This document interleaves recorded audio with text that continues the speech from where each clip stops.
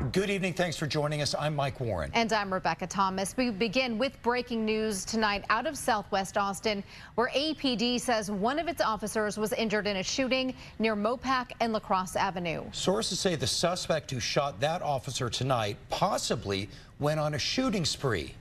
This violent day started this morning with the shooting of an Austin ISD police officer. We're told the suspect could also be connected to a double homicide in South Austin this afternoon, and that led to a search in Southwest Austin tonight. Fox's Angela Shen is joining us live from the scene with the very latest. Angela.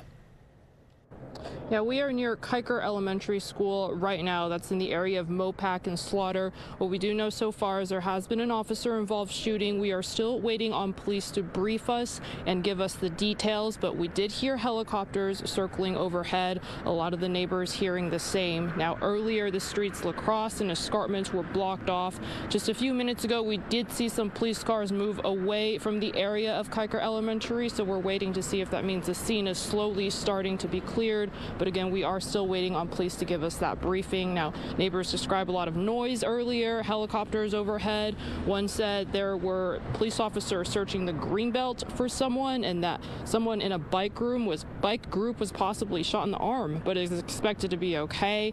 And that people around here say it's normally very quiet, so they were concerned to hear all this activity going on. Again, there has been an officer involved shooting. We know that much, and we are waiting for police to brief us and give us more details, and we will keep you posted. For now, we are live in South Austin. Angela Shen, Fox 7 Austin News.